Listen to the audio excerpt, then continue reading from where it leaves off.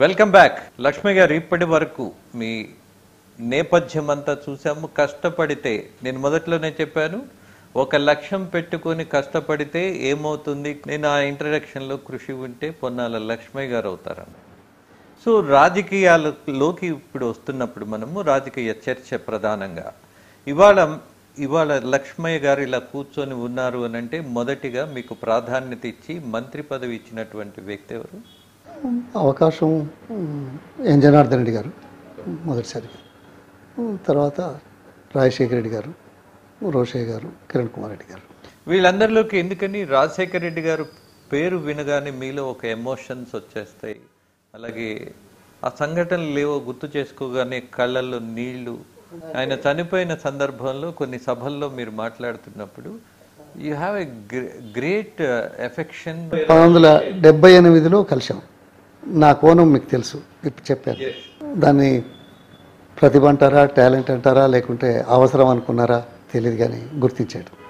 ఒక మహోన్నత కార్యక్రమంలో ఒకట భాగస్వామ్యం దానికి పూర్వం చరిత్ర కూడా ఉంది. అది చెప్పాల్సిన అవసరం ఉంటుంది. అందుకే చరిత్ర ఏంటి?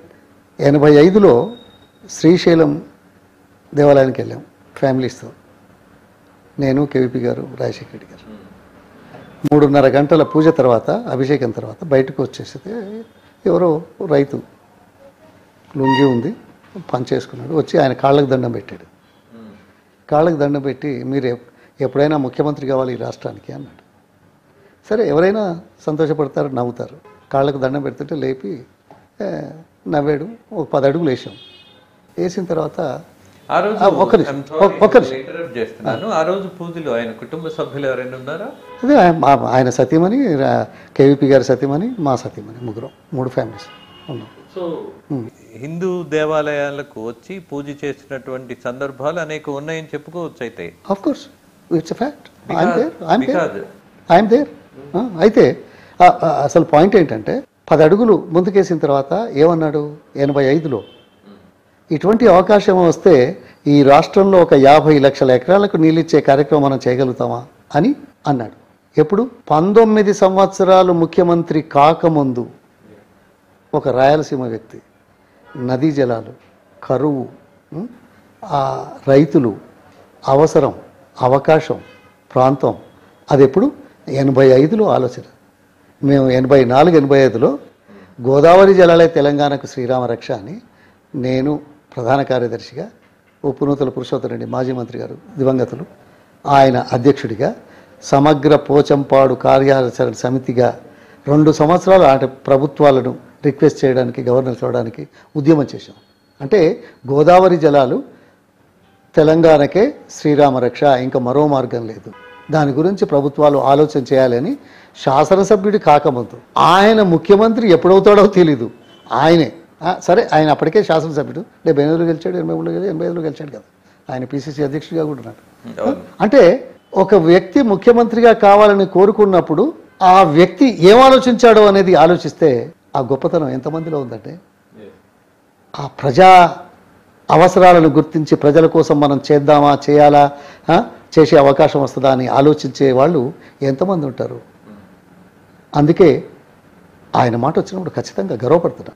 నేను ఈ సంభాషణలో భాగస్థుడనే కాకుండా ఈ రాష్ట్రంలో శాశ్వత ప్రాతిపదికన మరెప్పుడూ వివాదాలు లేకుండా ఉండేందుకు రాష్ట్ర హక్కులు కాపాడడంతో పాటు మరో వివాదం తలెత్తకుండా భవిష్యత్తులో ఉండడానికి చేసే కార్యక్రమంలో జలయజ్ఞం కార్యక్రమం.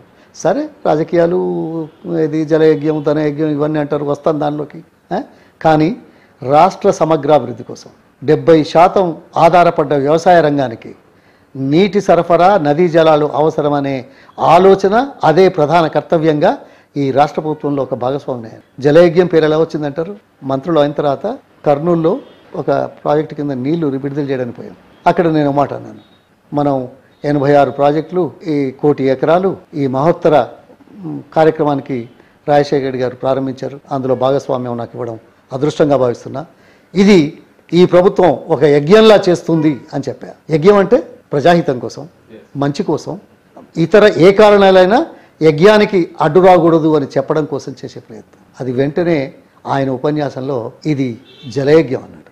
నేను ఈ కార్యక్రమాలు నీటిపారుదల కార్యక్రమాలు ఒక యజ్ఞంలా చేయాల్సిన అవసరం ఉంది అనే మాట నేను మాట్లాడితే ఆయన జలయజ్ఞం అని నామకరణం చేశాడు. కానీ కుచ్చిత బుద్ధితో ఉండేవాళ్ళకి తప్పులు చూసేవాళ్ళకి సవరించడం కోసం ప్రయత్నం చేయని వాళ్ళు జలయజ్ఞం దాని మీద మేమేం వెనకడుగేసేది లేదు. చర్చకు సిద్ధమే. అందుకే ప్రపంచంలో ఎక్కడ దేశంలో ఎక్కడా లేని దగ్గర. నలభై ఆరు ప్రాజెక్టుల దగ్గర ఓపెన్ డిబేట్. నిపుణులు ప్రతిపక్షాలు రైతులు ప్రభుత్వం. మేము చేశాం. నలభై ఎనిమిది ప్రాజెక్టు చర్చాగోష్ఠులు జూబ్లీ హాల్లో ఇప్పటి ముఖ్యమంత్రి గారు ఛాలెంజ్ చేశాడు. మిగులు జలాలు వరద జలాలకు తేడా తెలవకుండా ఛాలెంజ్ చేస్తే నేను ఐదు గంటల నలభై ఐదు నిమిషాలు ఒక పెద్ద టీవీ ఛానల్ ఉంది అది కూడా సంక్రాంతి రోజు చర్చించాం. మేము ఎక్కడ దాపరలేదు వెనకడిగేలేదే ఆరు లక్షల ఎకరాలు ఈ రాష్ట్రంలో దేశంలో ఎక్కడైనా అయిందా? ఒక్క ఎకరం భూమి కానీ ఒక్క రైతు కానీ కోర్టుకు వెళ్ళకుండా మేమన్నా నిరకుశంగా పరిపాలించామా?